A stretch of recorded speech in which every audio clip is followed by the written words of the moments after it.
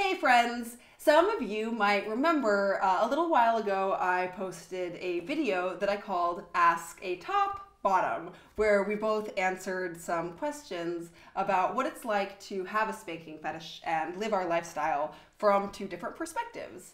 Um, a lot of people reached out to me to say that they enjoyed that video and wanted me to do another one like it with new and different questions. So, because I am a little sucker for the things you guys uh, ask me to do, except porn, uh, I am uh, obliging. So I'm excited to present the second installment of Ask a Top Bottom. So, once again, a bunch of these questions have been submitted to me on social media and especially from my Patreon supporters, who I am so grateful to for partnering with me in making these videos possible in the first place. So, let's dive in. Let's go. The first question is Ah, what is your favorite secondary punishment to spanking? Okay, are you ready to go? Certainly am. One, two, three. Corner time. What we got? I wrote writing lines. Um, Jilly hates corner time because she can never stand still or be quiet. it is true. I'm a not a very calm person, uh, but I will say this: Dan is so into corner time that I know one of his fantasies that we haven't yet had a chance to realize because I'm originally from Arizona, uh, and Dan has been to Arizona a couple of times and seen the beautiful saguaro cacti that we have in the Southwest. Uh, ever since he saw that, he started to fantasize about the idea of cactus time. So. I wanted to get a photo of you in front of the cactus. Yeah. Um, I had trouble thinking of an answer to this one, but I ended up putting writing lines. Um, it's there can be something kind of nice and even meditative about writing the same thing over and over again. Um, but I will say this: I don't think I adore any secondary punishments. You know, it's You were just trying to think of what's easiest. You're very good at writing. You can type in very fast and you can write quickly, being a writer. Um, I know you. You were just trying to think of what's easiest, least. Well, Because you don't have one you're really into other than you're very focused on one thing. And when it comes to writing lines, there's little ways to like I think part of the idea of writing lines is that it's meant to be boring, but I'm someone who enjoys handwriting and I actually find it quite fun to experiment with different handwriting styles. So uh, if I have to write something 50 times, I'll just write it in 50 different sets of handwriting. So, And that's why I don't make her write lines. all right, next. All right, ready? Yes. Let's go. Number two. Do you think this sort of paraphilia is something anyone gets over, or is one stuck with it for life, as it were? Okay, are you ready? Are you ready? One, two, three. Ah. Doomed. I'm sorry. so talk about it.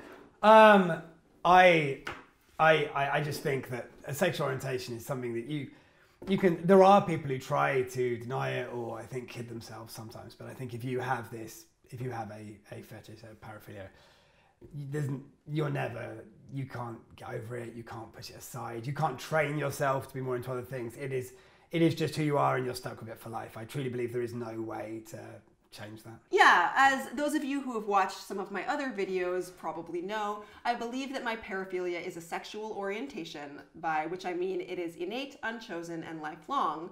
Um, so I agree, it's it's conversion therapy doesn't work. It's not something you can train away.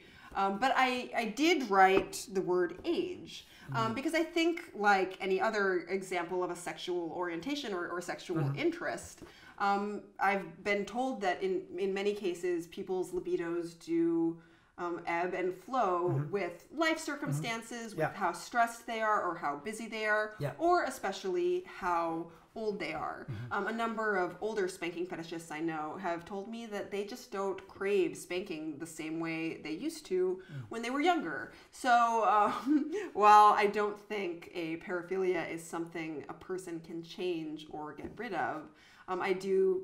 I have been told that um, the the sort of intensity of a paraphilia uh, can diminish with age. So, okay, next question. Ah, this is this is a really good one. Does gender matter when it comes to who you play with? Are you ready? Sure. One, two, three. Ah, Right. It says no. Um, it doesn't matter. I'm happy to play with um, with anyone. I'm happy to play, and I, I, I'm happy to play with men. I don't mind. I don't get anything from playing with men. I'm happy to play. Playing is it's fun. It's fun to play with with our friends, and like I will play with men, but I don't get anything from it. Like so, it doesn't matter. But but you he, he plays with men because because she likes it exactly, and I'm, I'm perfectly happy to do it. I don't get anything from it, but I don't, it doesn't matter. I'm happy. I'm happy to do that. But yeah, I don't get anything from it. You know, I not like playing with women. So I'm different from you. Uh, I wrote not at all. Um, so I will play with anyone, regardless of gender or sex. Um, but I, I do get something out of it um, in all cases. Um, gender doesn't matter to me, age doesn't matter, physical appearance doesn't matter to me. Um, what matters to me is that someone is friendly and respectful. Um, it helps if someone knows how to give a good scolding, but no, sex, sex and gender absolutely don't matter at all. Ready? Next question. All right, let's go. Here we go. Can't open. Right. Favorite fantasy scenario. Favorite fantasy scenario. Okay. I, can't- I know what you're gonna write. Yeah. Ready? Yep. One, two, three. She's written something about Star Wars, hasn't she? so you wrote domestic. Tell us about that. Uh, dom- like rather than a specific scenario, just domestic scenes, like domestic scenarios, domestic uh, relationships, like yeah, Oftentimes in the community, it's called domestic discipline. yeah, domestic scenes, domestic home stuff. Like that's that's the see, that's the kinds of scenes. Like rather than you know, some people really like school stuff or so, domestic scenes. What kind of scenario is least appealing to you? Least appealing to me. Yeah. Um, well, the, le- so I want it to feel really, uh, obviously, really disciplinary.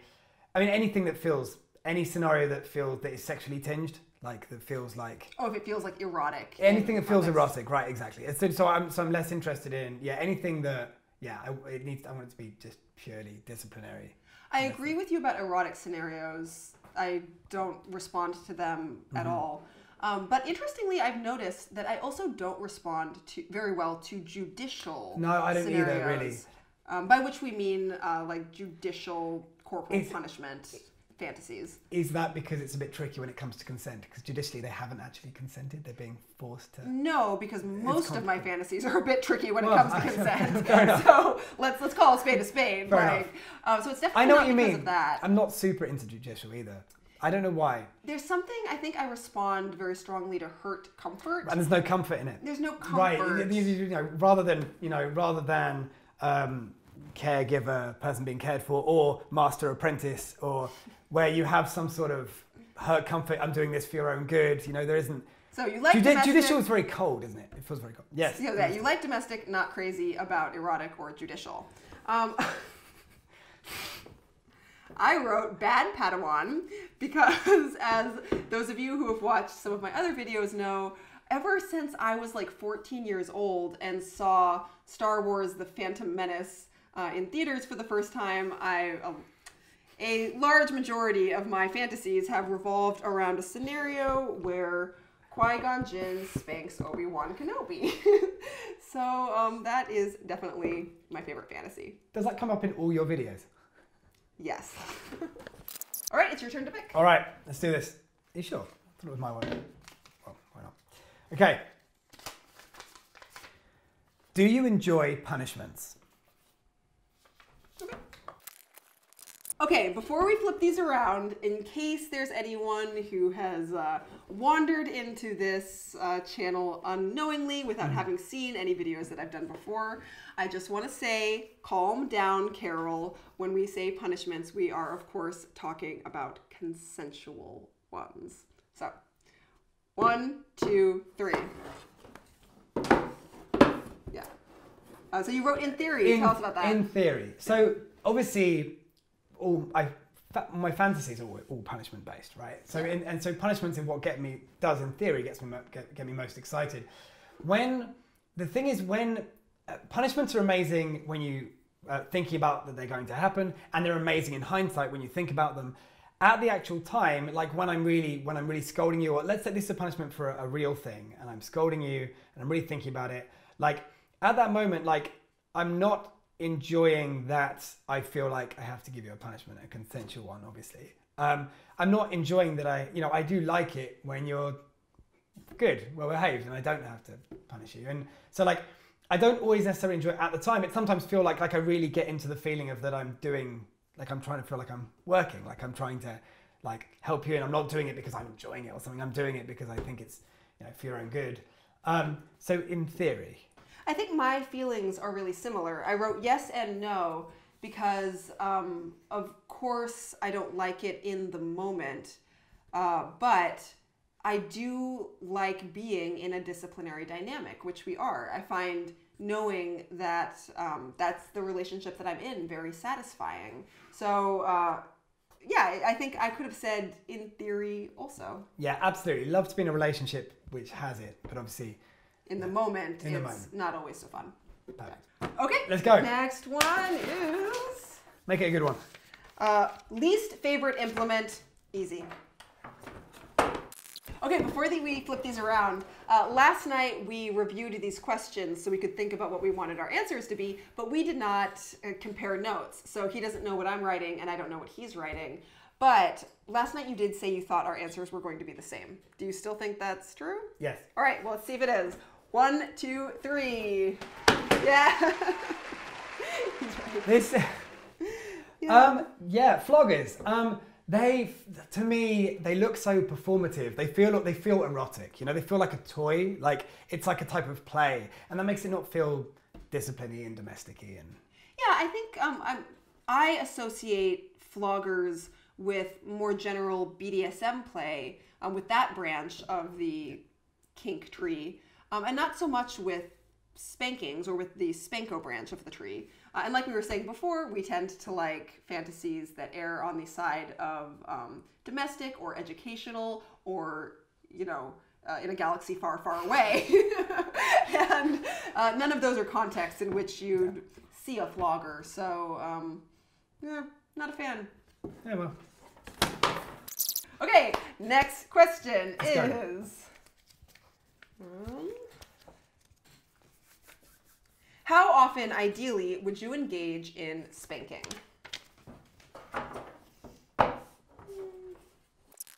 Okay, yeah, one, two, three. daily. I knew every gonna daily. every damn day. I would have written daily also if mentally engaging, because the question was how often would you engage in spanking? Um, The- if, in, if mentally engaging with it includes, if, if that counts, then my answer would be daily also. That no, no, no, doesn't mean you have to have like serious scenes every day. You know, a lot of these can Yeah, be it can fun be and fun. stuff. I want, I definitely want to spank you every day. That's my main aim in life, actually. Um, I wouldn't. I mean, I'm, I wouldn't be opposed to daily, and I definitely considered writing it. I ended up writing four to five times a week. Well, Um, I mean, it hurts for you, you know. If it's, it's, But but they're, they're what like know. good girl spankings don't absolutely, hurt. They're- absolutely. You know, so I don't know. Four or five times a week sounds good. You've got a couple of days off. I'm gonna I'm gonna add a question mark to it because now I'm doubting what I've written. Um, maybe this isn't enough, especially if I'm thinking about like bedtime spankings or good girl. You want bedtime or- spankings every day, sure. Yeah, exactly. So it's probably daily for both of us. I'm just trying to mix it up. All right, yes. all right. Next question. So bad. at this. Okay. Do you have any other kinks? One, two, three. Aha! I nailed it because I wrote no, but he does. So let's hear about his. Sure. Um, so there are two fetishes, only two: spanking and discipline. They are the core fetishes. They're the obligatory fetishes. I need them in my life. I have to have them. And but there are some other kinks. Like I have, uh, I definitely have a bit of a humiliation kink. That's Um, what I was thinking of when I wrote this. And I have some. I have a kink for like. I like. Um, I like. I I can get quite into quite a lot of activities which don't like which wouldn't traditionally be thought of as sexual, but which involve some like some, which are quite intimate. Like I'm thinking now, rather than spankings, things like inspections, examinations, that sort of thing. Um, you know, where there's like touching, but it's not overtly sexual not how what people would consider sexual. So yeah, I've got a few. Yeah. He's definitely got a little bit of a humiliation kink, and sometimes I feel kind of bad for him because at this point, considering the work I do and the videos I post on the internet, which is public, uh, I, I, think I might be a little bit immune to humili- humiliation because I spend enough time humiliating myself. So. Doesn't get embarrassed. That's true. Okay. Okay. You'll go. Let's go. Okay, next question is To what degree is the DS dynamic integrated into your life? Mm-hmm. Uh, and since this question was submitted by one of my Patreon supporters, I know that this person threw out a few examples like, Do you tell me what to wear? Right. Um, things like that. So. Ready? Okay, one, two, three. Hmm. Um, to go first? Yep. I wrote constant but low level. So I think people like our relationship is based on, you know, we have this DS dynamic and it is all the time. Like it is 24 hours a day. It is all the time. Um, and I do, you know, punish you for real things and I do feel a real responsibility to look after you in a different in a way that I don't think other people who aren't in this kind of dynamic feel. Um, but like, for example, I don't get involved with your, your work, for example. I always say anything that's to do with your work has nothing to do with me. Yeah. Um, work stuff. Uh, I don't tell you what to wear, like you know that kind of thing. Like that's you know. So I like. You don't micromanage. I don't know. No, that's exactly. I don't micromanage at all. As in, I don't. I don't waste my moral authority on things that aren't important. Mm-hmm. Like you know, I, I, concentrate mainly on health and safety things and health, like mainly health and safety things, that kind of stuff. You know, things that aren't important. I don't. I don't like waste my energy on trying to. You know.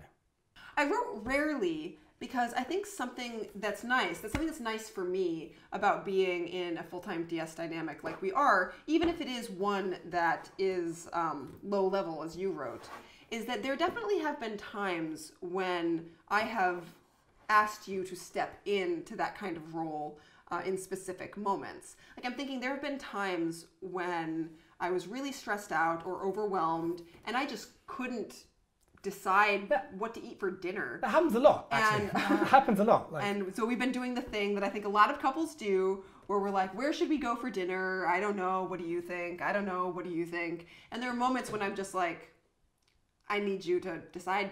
And then he decides. You, you do that a lot, even when you're not around, even when you're somewhere else. You text me. You're like, no, I think it happens. Make a decision. That more happens, a lot. Yeah, yeah. There's lots, and, and there are like there are some set things that I'm like, you know, that you would check with me before doing that kind of stuff. But I don't. Yeah, I don't get involved in love.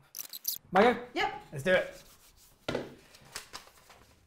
Ah, do you have sex?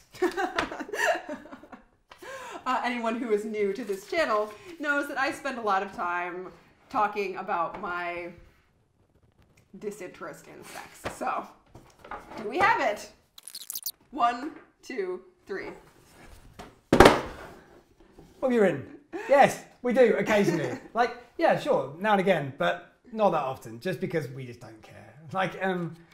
So I wrote, do we? because well, yes, definitely we have had sex in the traditional sense. Um, as I defined in an earlier video, uh, I define sex in a pretty boring way. Um, that's genital, anal, and oral sex. So we have had sex, but I think because we're both so kind of bored of it, that I don't think the sex that we do have would be recognized by most people as sex and it's always very functional. It, it's like in moments when uh, someone just needs to have an orgasm but we are camping in a tent and there's another tent next right next to us and we can't make loud slapping sounds and somebody just needs to come. So we get it done. It's like yeah. doing a job. Yeah it's yeah.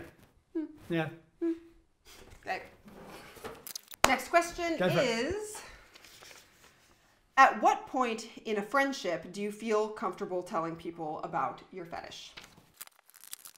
Okay. Yeah. One, two, three. Go. Yeah.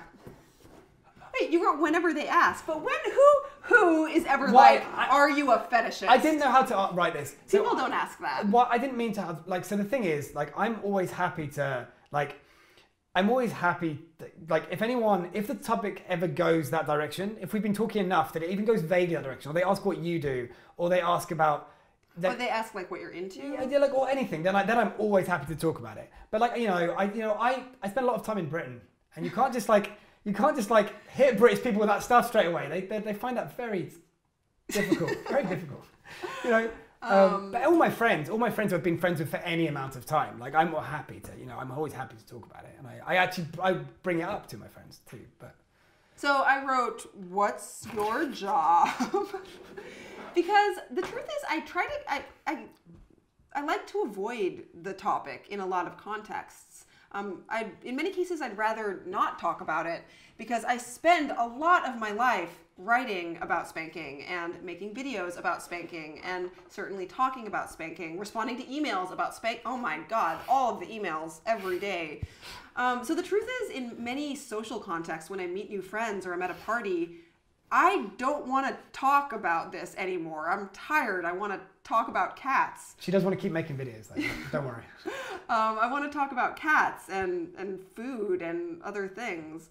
Um, but the question, what is your job, is always tricky because I say I'm a nonfiction writer, and they say, what do you write? And I say, I wrote a book. And, you know, it's just all downhill from there very quickly. So uh, the truth is, it, it comes up in my friendships, like unfortunately, fast. my go. Yep, you pick it. Right, let's do it. What is more important, the pain or the ritual? Mm. Easy one. One, two, three. Yes. This is definitely a match, I'm sure of it, yeah. Well, I mean, he doesn't feel any pain, so. Right, for me. No, no, no. I just But the your tops. hand. If you're, is- No, it doesn't hurt my. Hand. I've been doing this for a long. Mine doesn't hurt my hand. Don't be ridiculous. Um, there are there are Spanko tops who um, who are also like who are who have some sadism. Like they do get they do get something out of the yeah. pain. No, that's there right, are yeah. sadistic um, Spanko tops, and that's completely fine. Um, I'm not one of them. The pain is not important to me. Whether I cause pain, I don't get pleasure from the causing pain. I'm into the ritual. I'm into the spanking and the, the look of it and the feel of it and everything. But yeah, the pain doesn't matter to me. I couldn't agree more. This question is very specific. Uh, what is the wheelbarrow position like? Ready? Okay, One, two, three. Oh wow! I didn't expect this to be such a That's pretty. Almost use the same word. such a clear Pretty close. match. Uh, so you wrote two sexual. I do like. I do like. I do quite like embarrassing positions. You know, but the problem with wheelbarrow is it stops feeling disciplinary. If it feels disciplinary and is embarrassing, like I do like other like quite a few like different positions, but wheelbarrow it just doesn't seem to be any disciplinary purpose. It's not a very like. It's just not a yeah. I just it just doesn't feel disciplinary, and that makes it feel erotic, and that means I'm not really interested. And that's why I we don't read it. So I wrote seems too erotic because the truth is I've actually never tried the wheelbarrow position. Uh, in fact, I'm not entirely sure I know what it is. So maybe for all of our educational purposes, including my own, we will in post production edit in a visual of what uh, exactly the wheelbarrow position is.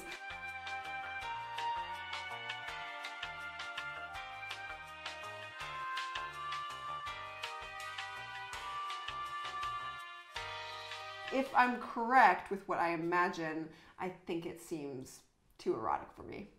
Yeah, I mean, like I'm sure it's a nice view as a top, but it's not. I haven't done it with you because I'm just not that interested. Because Have you done it ever with anyone? yeah, I have. Oh, you like, have? I have done it. Like I've tried, you know, oh, but it's okay. yeah, but it's not. Not your fave. It's just not that disciplinary. I don't. Yeah. Okay. And the last question is. Drum roll. Yeah. You can do the drum roll. I'm the drummer. Brilliant. Perfect. Do you switch? I get this question She gets this question every, every, day. single day in Every my day. email, in YouTube comments. The internet needs to know. Do you switch, Do Jilly? we switch? Okay, the long-awaited answer to the question Here it comes. This of one- whether we switch. One, two, three. Yeah. I'll, I'll keep mine short, very short. I don't switch. Um, I'm, I'm just a top. I'm very boring. But no, I'm just, I'm just a top. I don't switch. I, I am what I call a service switch, by which I mean I don't naturally uh, fantasize about topping.